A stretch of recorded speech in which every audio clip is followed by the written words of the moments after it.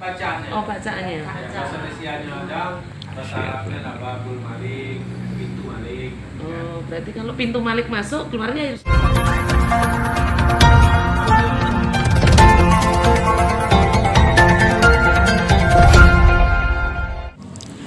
Selamat siang buat seluruh masyarakat Kabupaten Tebo, masyarakat Provinsi Jambi di mana pun berada Kembali pada siang hari ini, hari Rabu tanggal 22 Februari 2023 Kembali saya memberikan informasi bahwa saya sekarang berada di kantor KUA Kecamatan Ribu Bujang Yang ada di Jalan Pahlawan, Kecamatan Ribu Bujang, Kabupaten Tebo, Provinsi Jambi.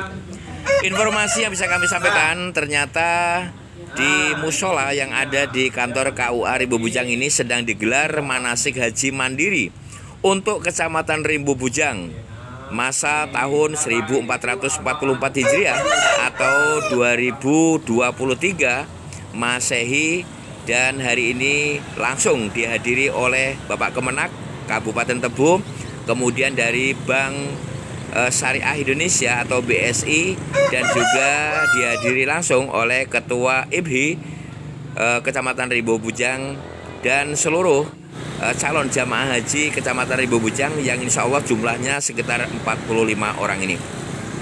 Informasi yang bisa kami sampaikan ternyata untuk tahun 2023 atau 1444 Hijriah tahun ini untuk jamaah haji insya Allah informasinya tidak ada pengurangan dan untuk Kecamatan Rimbo Bujang sendiri ada kurang lebih 45 calon jamaah haji yang siap berangkat menuju ke Tanah Suci di tahun 2023 ini.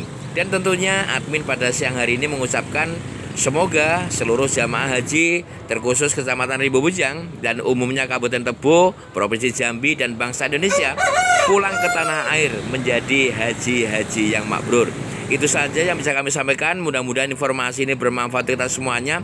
Mari terkait kegiatan ini kita ngobrol-ngobrol dengan Ketua IBHI Ribu Bujang, kemudian dari Perbankan Bank Syariah sendiri, dan yang terakhir nanti akan dari Kemenak. Itu saja. Selamat siang, salam.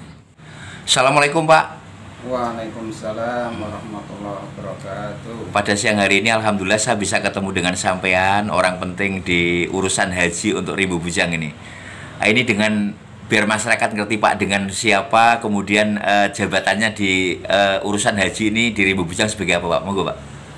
Saya kebetulan dipercaya sebagai Ketua Ikatan Persaudaraan Haji Kecamatan Rimbo Bujang. Hmm. Ya, kalau nama mungkin sebagian sudah kenal nama saya Muhammad Mufadil dan kebetulan sehari-hari juga tugas di kantor KUA Kecamatan Rimbo Bujang sebagai penyuluh agama fungsional. Hmm.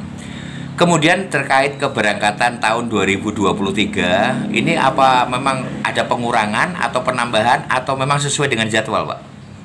Informasi yang kami terima dari Kemenak untuk tahun ini kita kuotanya full Pak, jadi 100% Jadi Hmm. untuk jamaah haji kita yang tertunda dulu insya Allah bisa berangkat semua Bahkan nambah lagi Hingga saat ini insya Allah jamaah haji kita Kecamatan Ribu Bujang berjumlah 45 orang Pak Insya Allah. Ya, 45 sesuai orang. dengan yang kami terima informasi dari Kemenak ya, secara resmi gitu Kemudian yang saya lihat kan Pak, tahapan demi tahapan terkait manasik haji baik itu di Tebu, kemudian di kecamatan kan terus berlangsung ya Pak ya. Iya betul. Nah, ini untuk terakhirnya kapan dan keberangkatannya kapan Pak? Kalau untuk kegiatan manasik itu Pak, itu ada beberapa manasik ya yang Hmm. saat ini dilaksanakan itu namanya manasik mandiri. Hmm. Itu kami menjadwalkan itu setiap minggu sekali itu kegiatannya berlangsung sekitar 10 kali kegiatan manasik. Hmm. Nah, kemudian nanti mungkin nanti sambung lagi ada manasik kecamatan yang dananya udah dari Kementerian Agama Hmm. dan juga nanti sudah itu ada manasik kabupaten. Ya. Jadi nanti setelah tahapan itu dilalui semua baru jamaah haji melaksanakan ibadah haji. Hmm.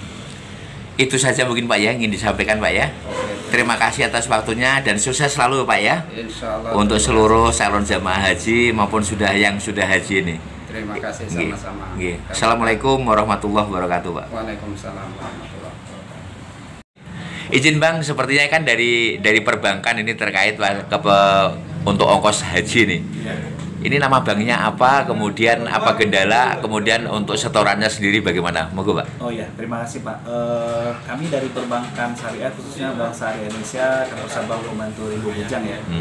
Untuk nanti pelunasannya jamaah haji yang di Kabupaten Tebo khususnya Rimbu Bujang dan sekitarnya itu bisa melakukan pelunasan di Bank Syariah Indonesia di KCP Jambi Rimbu Bujang. Untuk pelaksanaannya, untuk eh, pelunasannya nanti sesuai dengan data yang dari Kementerian Agama khususnya Kemenak Tebo seperti itu ya. Eh, dapat kami sampaikan eh, Bank Syariah Indonesia ini adalah gabungan dari tiga bank syariah. Dulunya Bank Mandiri, Bank Syariah Mandiri, Hmm. Bank Rakyat Indonesia Syariah, sudah Bank Negara Indonesia atau BNI Syariah.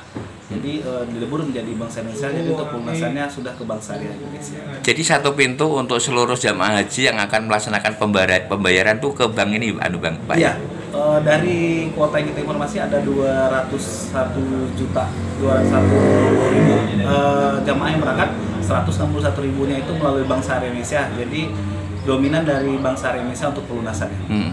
Kemudian untuk mungkin ongkos sedikit bocoran eh, untuk satu jamaah yang ke sana umum berapa ya? Kalau sekarang ini kalau dapat informasi kita dari Kementerian Agama itu di angka 49 jutaan ya. 49 Karena juta. Karena pelunasan 25 juta, kurang lebih 23 juta sekian lah untuk Iya. pelunasannya. Mungkin ada yang ingin disampaikan untuk jamaah calon jamaah atau pemerintah atau atau udah cukup Bang? Eh, pesannya eh, jaga kesehatan, eh, ikutin aturannya, ikutin prosesnya di bawah naungan Kementerian Agama dan untuk terkait dengan pelunasan koordinasi dengan Bank Syariah Indonesia. Pak Kacap ini sendiri namanya siapa ini biar kenal deh ya. Terima kasih saya dengan Kuku Rizaldo Yuzo Putra. Nggih. Terima kasih Pak. Sama-sama, Pak. Izin Pak. Assalamualaikum warahmatullahi wabarakatuh. Alhamdulillah Pak bisa ketemu sampean ini di Ribu Bujang. Ini dalam rangka apa Pak? Pak Kemenak. Eh, manasik haji mandiri. Iya. Nah, haji khusus untuk kecamatan Ribu Bujang. Apakah ini akan eh, juga dilaksanakan di kecamatan-kecamatan lain mungkin Pak?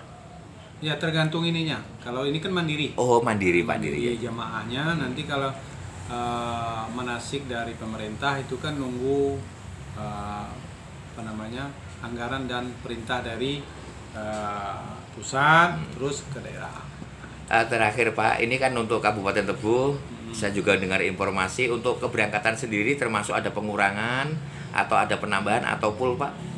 Kalau kota kita kan masih kota provinsi, Iya. nanti tergantung uh, jemaah masuk white English apa tidak. Nanti kita lihat jemaahnya saya tidak hafal jelas Iya Pak. jumlahnya. Iya Pak. Cuman kalau tidak salah saya itu perkiraan di angka 240-an. kalau 200 tidak se salah. Kabupaten Tebu ya Iya, Pak ya. Teboy. Biasanya seperti itu. Terakhir Pak, harapannya Pak ini Pak Kemenak dengan eh, seluruh calon jamaah haji. Ya harapannya jaga kesehatan, kemudian tetap istiqomah. Nah, yang penting diutamakan jaga kesehatan Iya. karena haji itu banyak ibadah fisik. Terima kasih atas waktunya Pak. Sukses Pak. Assalamualaikum warahmatullahi wabarakatuh. Assalamualaikum.